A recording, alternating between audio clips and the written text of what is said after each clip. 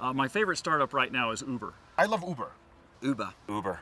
Uber is sort of the thing I think about the most. It could literally change the way transportation works in major metropolitan areas, and beyond that, it could get to how do you deliver products from local merchants to people uh, within a few hours as opposed to waiting for Amazon Prime's two days delivery. Snapchat is a lot of fun. Uh, you know, I, I, I, kind of sometimes I feel like an old man because I, I don't often pick up these uh, these uh, social networking things, but I'm I'm all over Snapchat, man. I use that all the time. I'm in love with a startup right now called Recon.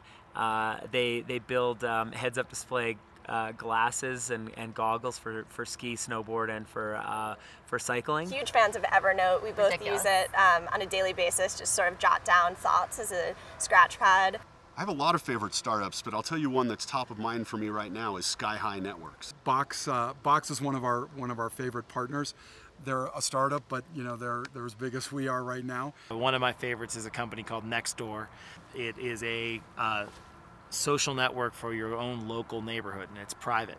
I like the Fitbit uh, guys. I think it's a really interesting way of like uh, using big data to help people be fit. My favorite startup right now is called GoldieBlox. It's the engineering toy company for girls.